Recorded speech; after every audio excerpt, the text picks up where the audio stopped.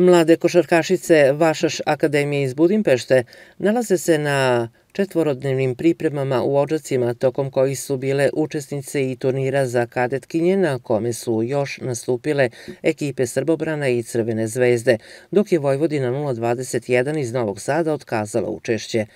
Vašaš ima jednu od najboljih košarkaških škola u Mađarskoj, a njegove kadetkinje sa klupe predvodi srpski stručnjak Nenad Marković.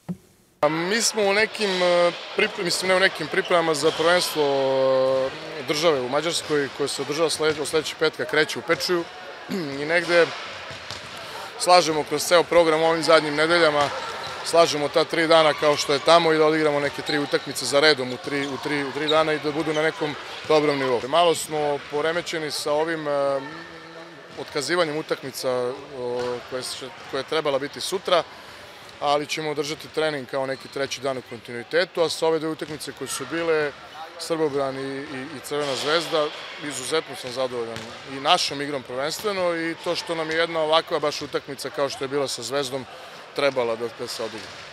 Košarkaški klub Torpedo iz Odžaka bio je organizator međunarodnog turnira za kadetkinje sa ciljem promocije košarke i motivacije devojčica da se bave ovim sportom.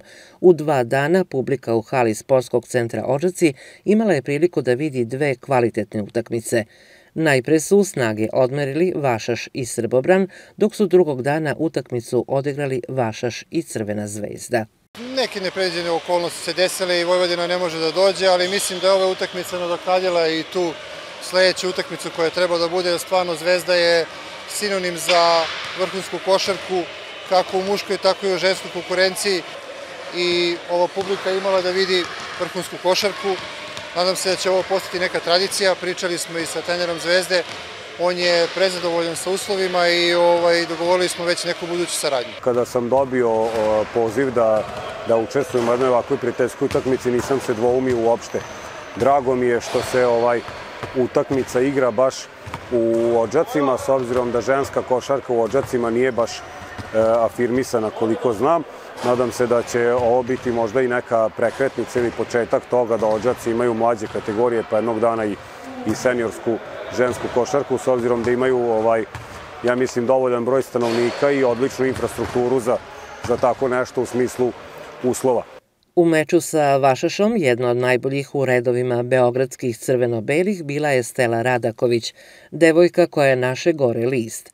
Mlada košarkašica je ponikla u Novosadskoj Vojvodini, a sada brani boje Crvene zvezde sa kojom je potpisala prvi profesionalni ugovor.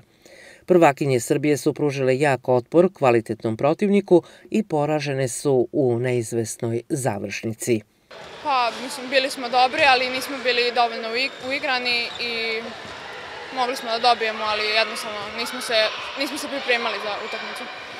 No, u svakom slučaju nama je zanimljivo da, da odmerimo snage sa, sa ekipama iz Mađarske i tako dalje, da vidimo trenutno gde smo.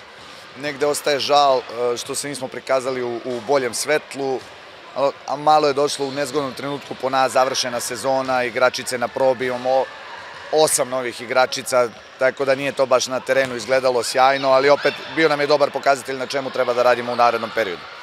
Vašaš je susret protiv Crvene zvezde dobio rezultatom 60-55, dok je meč sa Srbobranom rešio u svoju korist rezultatom 86-52, a gošće iz Mađarske su zasluženo slavlje na kraju turnira obeležile na tradicionalan način.